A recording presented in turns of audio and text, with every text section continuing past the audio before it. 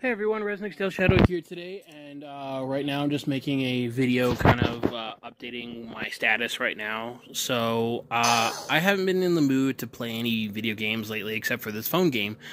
Um, before online gaming became a thing, I used to play video games like a lot when I was a kid, and then when I got bored, I would basically uh, take a long uh, hiatus so now that's kind of what I'm doing right now is I'm taking a long hiatus slash sabbatical.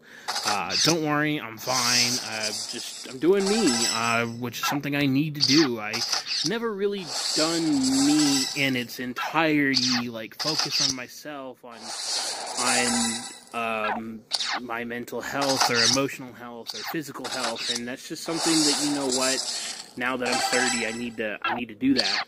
Um, and I also need to take some time to kind of look for a job, stuff like that, since I was, you know, wrongfully terminated my last job. Uh, but that's neither here nor there. It's just, I might not be on as much uh, as I used to be. Um, but with that being said, you know, uh, if you're wondering, oh, well, where am I going to, you know, uh, watch a lot of content, um, I have a couple of people that uh, make some, I mean, top grade quality content.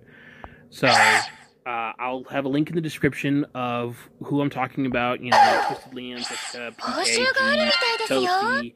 So you should definitely go check them out. PK, uh, was it um, Will actually uh, streams like practically every day so uh, they're on Warzone or it's like Fall Guys or a bunch of other games.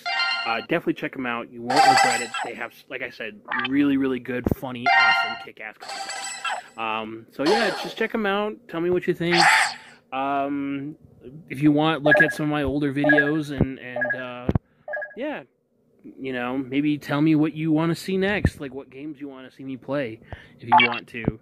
Um, like, favorite, subscribe, share with your friends, and um, yeah, like don't worry, I'll be back soon. I'm just taking a, a bit of like a sabbatical type deal, so but I'll I'll be fine. Don't worry, I'll be coming back here soon. Anyway, um, yeah, have a good one.